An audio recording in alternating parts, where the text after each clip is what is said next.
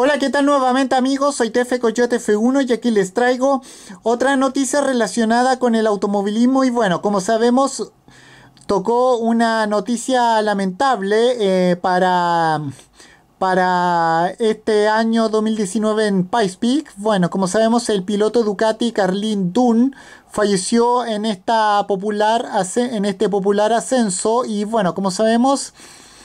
Este popular ascenso llamado Pikes Peak en Estados Unidos se ha teñido de negro con el fallecimiento de uno de los pilotos más destacados sobre las dos ruedas. Y tanto la elevada velocidad como el mal estado de la carretera han jugado un papel importante en esta tragedia y ahora, ahora hablaremos de aquello. Bueno.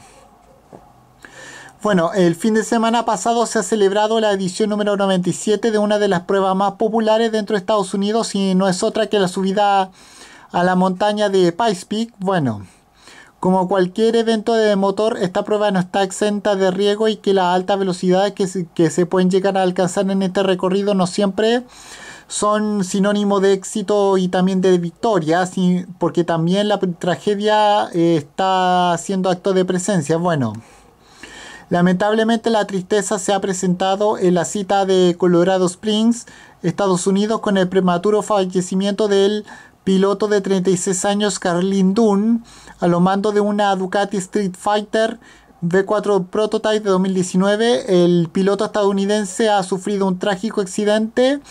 En el último tramo de la subida las consecuencias no han podido ser peores. Según informa el medio de Drive, el siniestro se ha producido a tan solo unos pocos unos pocos de la meta en una curva donde la alta velocidad le ha jugado una mala pasada a este piloto y bueno.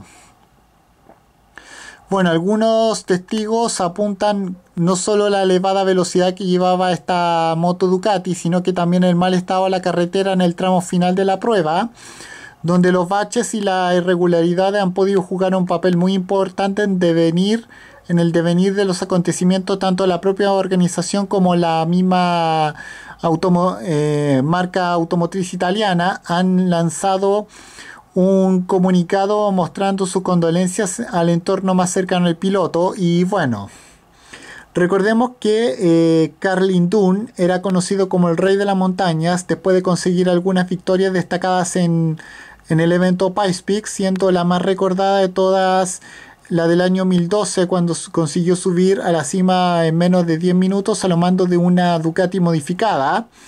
Y bueno, y ahora le mando mi más sentido pésame a todos sus familiares y al entorno más cercano. Y bueno, con esto me despido. Adiós, que fuera. Chao.